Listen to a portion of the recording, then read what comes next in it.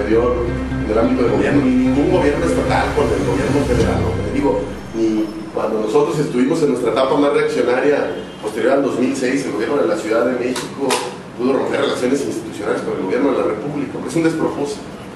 El MC está intentando llamar la atención de la opinión pública y como dijo un columnista, pues ya el gobierno del Estado se enganchó. ¿Quién le va a creer a Ismael del Toro que una fuerza oscura y extraña quiere envenenar los pozos de Tlajomulco?